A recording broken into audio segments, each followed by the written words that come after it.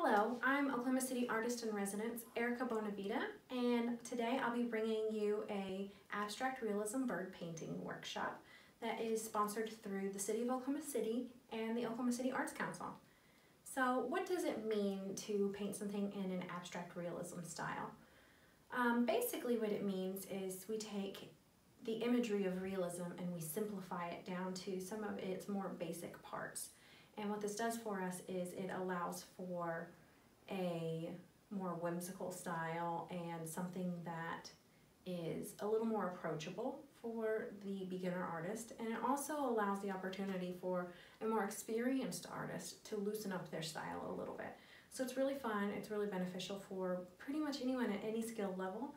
Um, so it, I think it would be a really fun thing to work on. Um, right here is an example of the style we'll be working in. Um, and what we're looking to do is just get the roundabout ideas of the birds that we're wanting to paint. So for a cardinal, we definitely are going to be looking for that triangular crest on the top of their head and there's a distinct shape to their beaks. And so whenever you're looking for your imagery for the bird that you want to paint, you are going to be simplifying the shape. So we're looking at an oval here, there's a sphere for the head, there's a bit of a triangle down here, and that's all that you, all the information you really need to get through to the viewer what it is that you're trying to portray. So if you wanted to simplify it to just those elements, it would still be a recognizable uh, shape and you would know, hey, I think that's a bird. Even if you just did straight lines and a little bit of a swoop, it would come across. So that's what's really, really fun about this particular style. So let's talk a little bit about where do we find our imagery. Um, your opportunities for this are pretty um, expansive.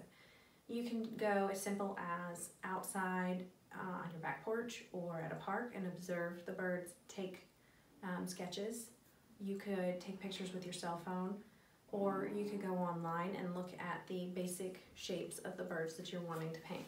With using an internet image, you do want to be careful not to um, create any kind of copyright infringement by copying exactly what it is. You're just wanting to look at um, kind of some of the characteristics that all of that particular species have in common and boil it down to that whenever you're moving into your imagery that you want to work with. Um, and you can also go find certain apps online. There's um, Unsplash is the one that I like to use the most where these images are specifically for artists to use in their work. And so there is no copyright issue there if you wanted to really um, spend some time copying a, a, particular image until you're comfortable um, kind of reducing other other images down.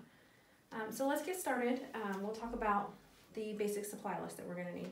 So you're going to want to have paint, obviously. Now you can use either acrylic or oil, whatever you're more comfortable with. I'm going to be working in oil today and you just really need a basic set primary colors with a black and white is all that you need to mix up what you're looking for. Um, you'll want to have a pencil so that you can sketch the image down. You'll want to have a few different size brushes, probably a small detail brush, a medium size brush, and then something really large for blocking in. And also what I find really important for this particular style whenever I approach it is to have a palette knife. And so the benefit of having a palette knife is it really allows you to put a lot of movement into the piece and it also allows for some really interesting textures that you wouldn't get with a brush. So this is a really, really fun tool to utilize whenever you're doing this.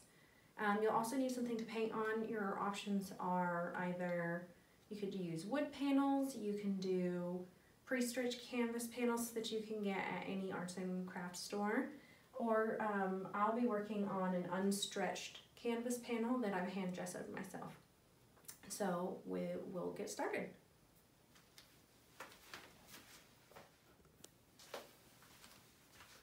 So the background is a really fun part of this painting process because it can be left so ambiguous. You don't need to define any shapes with this. You can just kind of get in there, get a big brush, um, and just slap some color in and really all you're looking for is a little bit of color variety. So, you know, some lights and some darks and, you know, a color that's going to coordinate really nicely with the final colors you're going to choose for your bird.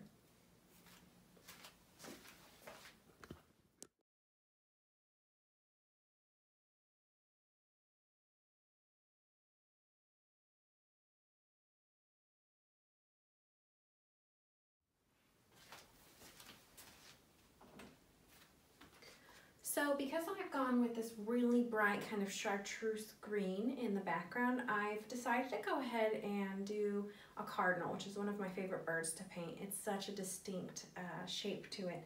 And I just think that the color palette that we've got working here would lend itself so well to be paired with a cardinal. So we're gonna go ahead and get that going. And instead of sketching it with pencil, I'm just gonna go ahead and sketch it with a paintbrush.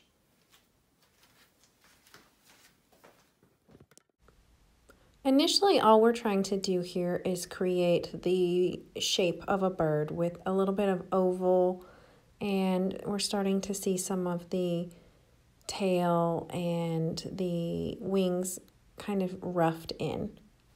As you're painting, you may find that you need to make some corrections to the shapes. This is easily done by diluting your paint and moving the paint around either by, with water with acrylics or with mineral spirits with oil paints. If you're going to do a little bit more detail on your painting, I really recommend doing this on the face of the bird. You can really add a lot of personality by defining the beak and the eyes. One of my favorite parts of this process of painting is using the palette knife to create movement. You simply take the palette knife and load it up with the color that you are looking for, and you drag it through the painting to create a sense of movement.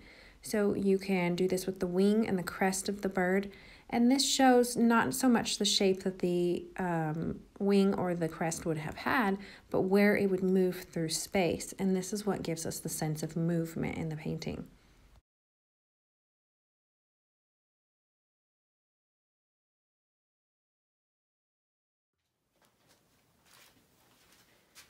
And that is how you create a simplified abstract realism painting of a bird.